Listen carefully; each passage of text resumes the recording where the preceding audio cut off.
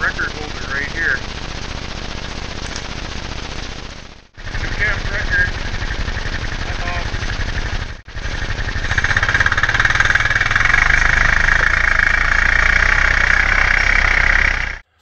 Two thousand twenty-one AWGS uh, rifle whitetail wolf hunts, and we have Dan Bilski from Quakertown, PA, up on his first hunt with uh, AWGS. And uh, on his second day, just after midday, uh, a hot doe came out, followed by, uh, well, this guy right here. And uh, Dan's got a heck of a buck. Dan, why don't you tell us about what your hunt has been like so far and about this deer?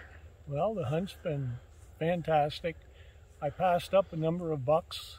I saw maybe four different bucks and it was only the second day I happened to see this one about 150 yards out or so. And uh, I got lucky. And uh, Dean tracked them helped me or, or, actually tracked them for me. Wonderful wonderful. Uh, the place has been fantastic. Clean service, everything you could ask for. I'm just so elated right now. This is the biggest buck of my life. and, uh, well, it's a good deer for sure. I'll tell you that much. And as you know, hopefully everything has been kind of what we discussed and what was promised and what you were sold on the hunt you know, we try to do a good job of, uh, uh, we, we don't oversell anything. We sell what it is we do. And if it's a good fit for the client, for the way that we hunt and, and what, and what we're talking about, then we know that the client's going to be a good fit as well. So, and that's the other thing. I feel like I've earned this deer, which means a lot to me. Yeah. A truly, a truly wild deer in the in the wildlands of Alberta and natural deer. Yeah, no fair chase, free range deer, and what a deer. Turn it to so we can see his right antler again.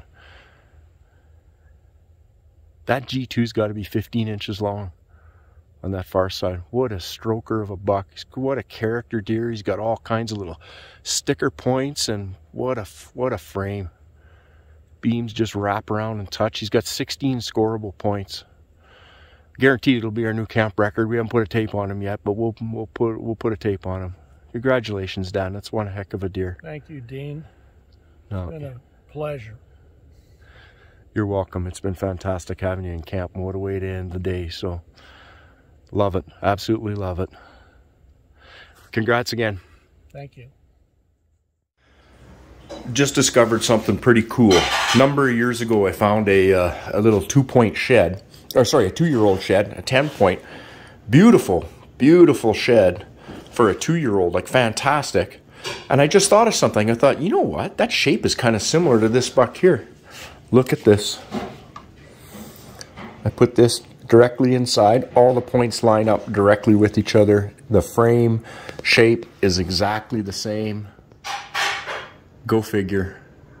So I found this two and a half year old shed probably six or seven years ago. I can't remember. I'm I'm guessing that this deer, just from looking at him, is probably uh, and seeing his teeth so far, I'm guessing that he is a. Uh, you know, he, he could be a nine year old deer, eight year old, something like that, but we'll find out for sure. But what a, what a coincidence. There's no doubt, no doubt in my mind, 100% that this is the, uh, this is the same deer.